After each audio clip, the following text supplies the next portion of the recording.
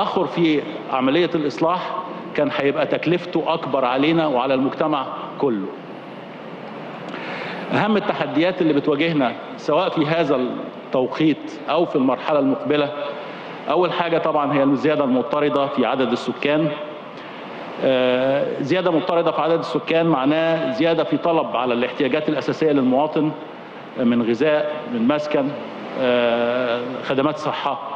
خدمات تعليم صرف صحي كل دي أعباء هتبقى مطلوب منها إن إحنا نطور البنية الأساسية مطلوب استثمارات مطلوب أيضا إن إحنا نستمر في هذا التطوير بحيث إن إحنا نقدر نستوعب الزيادة المضطردة في عدد السكان ونقدر إن إحنا نوفر فرص عمل حقيقية للمواطن المصري.